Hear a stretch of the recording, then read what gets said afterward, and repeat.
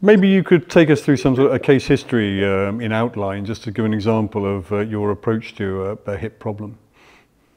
Okay, so so you know normally we we have a, a, system that most people probably have. We use clinical patients send a lot of information in. I might have some letters from from. Uh, from, from consultants that have referred, uh, that maybe they've had previous surgery, uh, maybe the surgery hasn't worked, and, and, and they've asked for an opinion. Uh, patient comes in, I'll take a case history just like anyone was. I would, I would be thinking about various hypotheses in my head. For example, if it's an anterior hip pain that they're getting, is it because the pain's more provocative in deep-seated positions? Is it more provocative when they're driving a car with the right foot on the accelerator, lifting it backwards and forwards? Is it more provocative if they walk upstairs or walk uphill?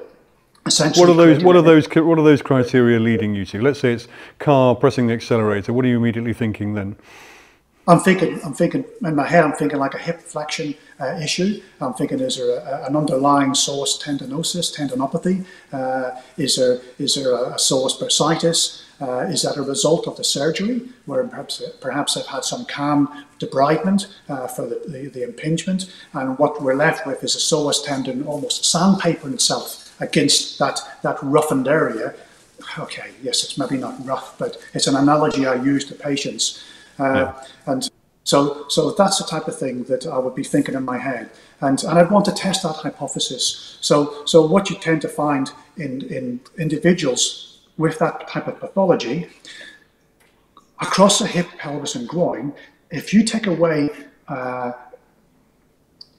the ability for a, a, tissue to function efficiently, then somewhere else has to draw uh, more activity, more load. That gets redistributed.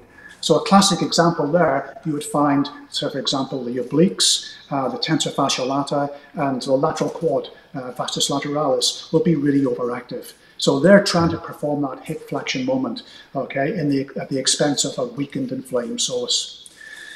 Uh, so, so of course we want to test that hypothesis. So we could we could do an Ober's test for tensor fasciae lata to test to see how stiff that is.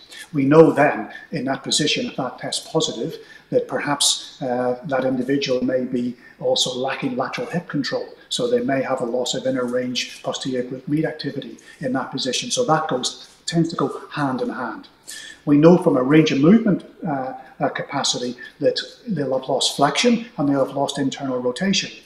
Why that, may, may be a possible cause is, is think about the anatomical attachments of the tensor fasciae lata. If it's overactive, it's going to pull us more into anterior pelvic tilt. It's also an internal rotator. So it's not that the hip has lost internal rotation, it's essentially being held in internal rotation because of an overactive muscle. So if we can take away some of that tension and retrain the, the hip to move more appropriately, okay, then maybe that psoas can start to function a little bit more efficiently and we can start to load that tendon appropriately.